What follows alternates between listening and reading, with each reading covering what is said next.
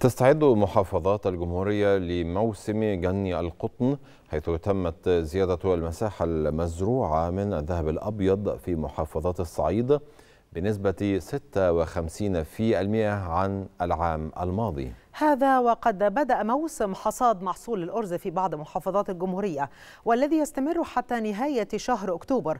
يعد الحصاد من أهم اللحظات في حياة المزارع لجني ثمار موسم كامل من العمل خاصة ما يخص المحاصيل الاستراتيجية المرتبطة بالأمن الغذائي مثل الأرز والذرة.